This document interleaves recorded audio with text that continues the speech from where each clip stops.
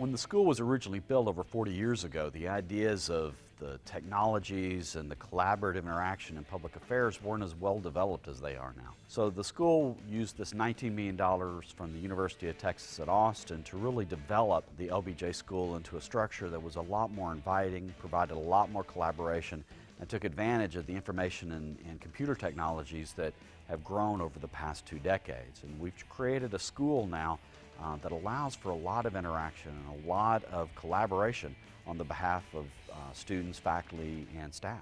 It's a, you know open. It's good. We finally have all our space back.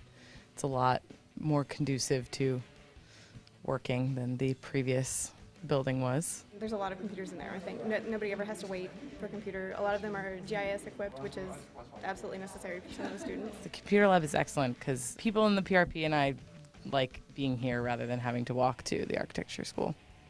So that is a bonus.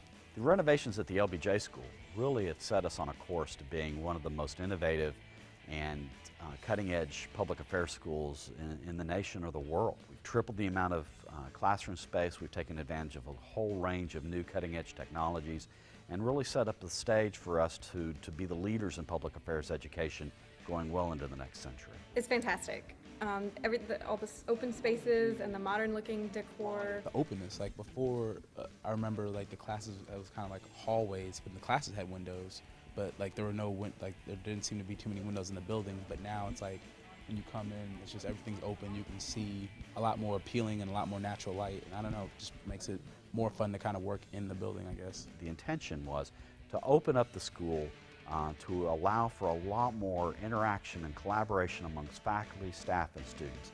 If you take a tour of the building, you can see how that really has come into play. There's a lot more openness, and it's allowed us to use technologies so that we're not only communicating internally here at the school or with our colleagues across campus, but we're able to reach out to people across the world.